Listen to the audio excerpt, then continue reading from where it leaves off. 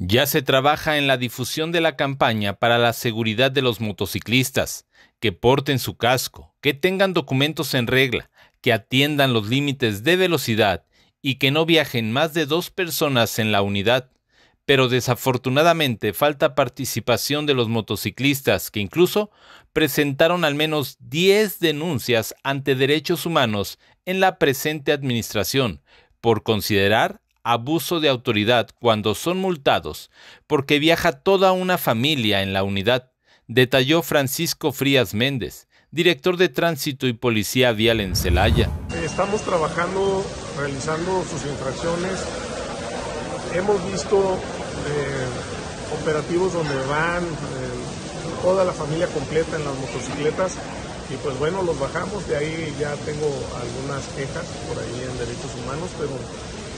eh, no proceden porque pues aquí la intención es salvaguardar la integridad de los niños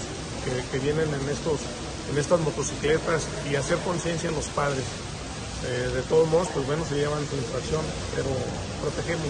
a nuestros ciudadanos. Pero no procede, les digo, porque la queja va en el sentido de que los bajo en, en un lugar obviamente seguro, no en cualquier lugar, los bajo de la motocicleta, le hago su infracción y dejo continuar al conductor.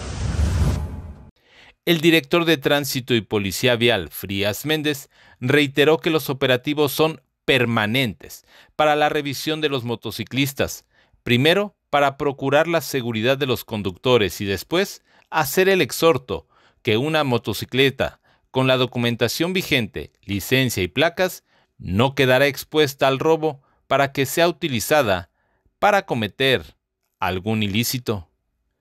Noticieros Expresa TV Ricardo Cárdenas.